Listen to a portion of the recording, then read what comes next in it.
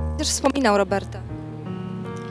Co, no to jest beczka wspomnień przede wszystkim. No, jako osobę uśmiechniętą, energetyczną, mega tolerancyjną, pozytywną, nawet jak czasem jak go nazywam pozytywnie zakręconą.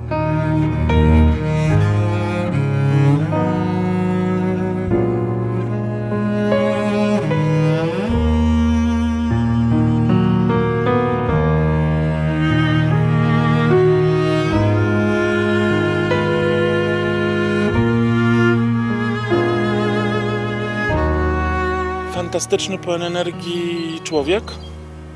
Kolorowy, zawsze ubrany kolorowo. Chyba nawet się ośmieliłem ubierać kolorowo trochę pod wpływem jego. On mnie wprowadzał w muzykę.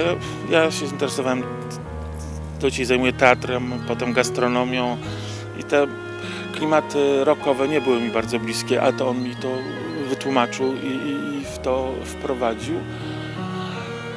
Osoba niezwykle, niezwykle życzliwa, otwarta. Proszę zobaczyć, że teraz po jego śmierci z przyjaźnią wypowiadali się o nim ludzie tak skrajni w poglądach, jak z jednej strony Tomasz Terlikowski, a z drugiej strony Sławek Sierakowski. Od prawej strony życia publicznego po lewą.